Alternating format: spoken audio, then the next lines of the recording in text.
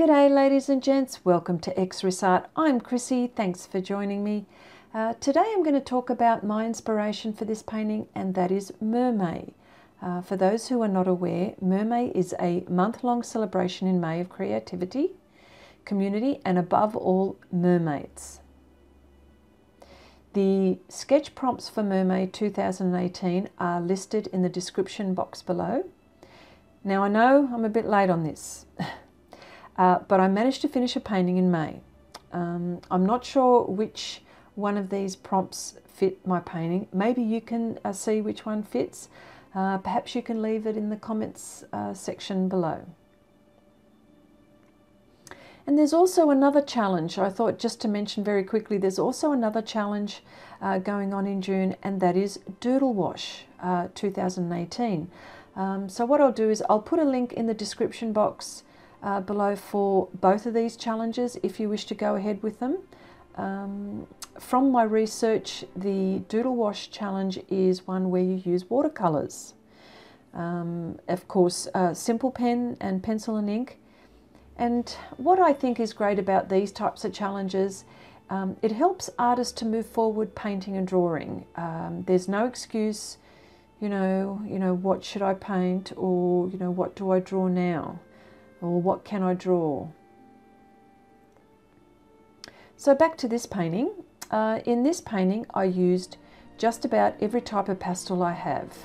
The art supplies I used are pan pastels, soft pastels or soft and hard pastels, pastel pencils, soft tools by Pan Pastel, my synthetic brushes, masking film, and um, a, a kneaded eraser and glassine paper and of course Pastelmat.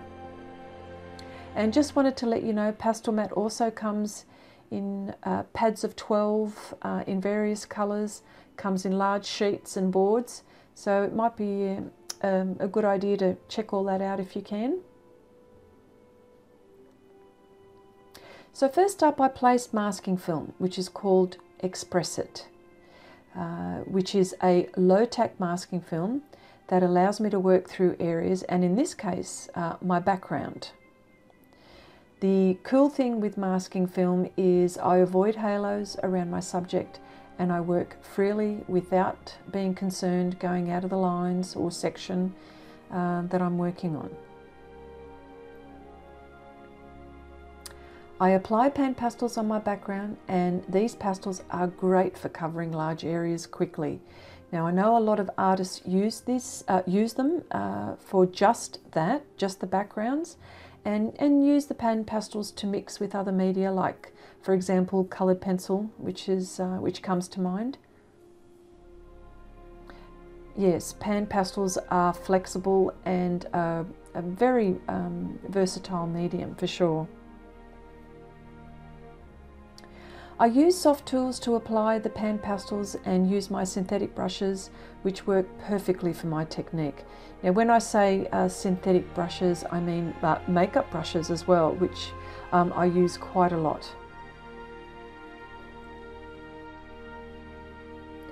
I continue to chop and change between soft and hard pastels, pastel pencils uh, to get the effect that I want.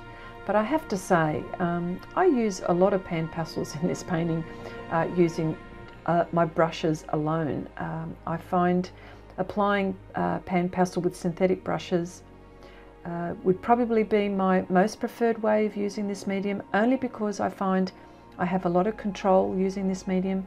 And of course, I get a lot of control using um, pan past, uh, sorry, pastel pencils as well for details, of course. That goes without saying. What was the uh, the most challenging thing for me here in this painting was the smaller mermaid's face. I think it was uh, the reason why it was difficult for me or challenging because um, I was just trying to get uh, the correct value and the tone and um, because it was just so tiny the face was just so tiny and and so now I have this newfound respect uh, for those who paint um, and draw miniatures. I mean, I did before, but um, it wasn't an, an easy thing for me to do. So if this has been the first time you've uh, visited my channel and you would like to view more of my videos, uh, please consider subscribing. I occasionally share ideas and painting techniques and live stream from time to time. And don't forget to click the bell icon, that way you don't miss out on any videos as I upload them.